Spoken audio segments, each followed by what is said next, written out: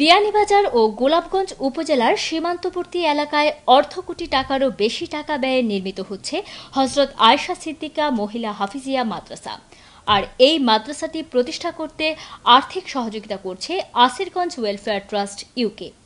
উদ্যোক্তারা জানিয়েছেন, আগামী বছরের মধ্যে এর কাজ শেষ হলে দুই উপজেলায় মেয়েরা এখান থেকে দিনী শিক্ষা লাভ করতে পারবেন। বিস্তারিত এম হাসানুল হক উজ্জ্বলের প্রতিবেদনে ক্যামেরায় ছিলেন শাহেদ আহমদ। বিয়ানীবাজার ও গোলাপগঞ্জ উপজেলার সীমান্তবর্তী আসেরগঞ্জ ও আশেপাশের বিশ কিলোমিটার এলাকায় এখনও কোনো মহিলা হাফিজিয়া মাদ্রাসা প্রতিষ্ঠা লাভ করেনি। তাই এই অঞ্চলের মেয়েরা দিনী শিক্ষা তথা কোরআনে হাফেজা হওয়া থেকে বঞ্চিত রয়েছেন। এদিকে বিষয়টি মাথায় নিয়ে যুক্তরাজ্যে বসবাসরত আসেরগঞ্জ ওয়েলফেয়ার ট্রাস্টের কর্মকর্তারা ওই অঞ্চলে মহিলা হাফিজিয়া মাদ্রাসা প্রতিষ্ঠার উদ্যোগ নেন। আর তাদের এই উদ্যোগে সাড়া দিয়ে ষোলো শতাংশ ভূমি দান করেছেন স্থানীয় এক প্রবাসী পরিবার। রবিবার এক অনুষ্ঠানের মাধ্যমে দানকৃত ভূমিতে মাদ্রাসার ভিত্তিপ্রস্তর স্থাপন করেন এলাকাবাসী।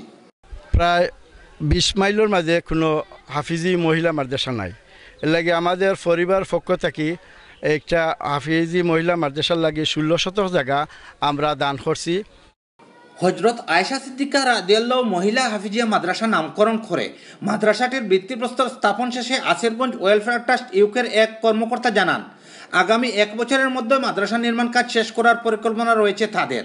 মাদ্রাসাটি নির্মাণ করতে অর্ধ কোটি টাকারও বেশি ব্যয় হবে জানিয়ে ওই কর্মকর্তা সকল প্রবাসীদের সহযোগিতা কামনা করেছেন। আমাদের খাম শেষ করতে অ্যাবাউট এক বছর লাগতে পারে।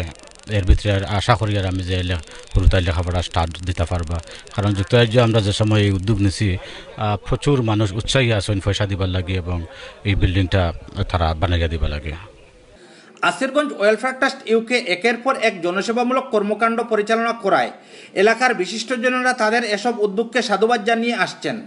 একটা মহিলা মাদ্রাসা আজকে আমরা উম, বছর করে গেলাম। সেটার জন্য প্রবাসী ওয়েলফেয়ার ট্রাস্ট আসিরগঞ্জের সকল সদস্যকে আমার অন্তর অন্তঃস্থল থেকে ধন্যবাদ জ্ঞাপন করছি। যে আমাদের এলাকায় বহু আমাদের অনেক পূর্বপুরুষ ছিলেন কিন্তু এত বড় উদ্যোগ নেননি। আজকে যারা নিয়েছেন তাদেরকে আমরা সর্বস্তরের জনগণের পক্ষ থেকে অভিনন্দন জানাই জানাই।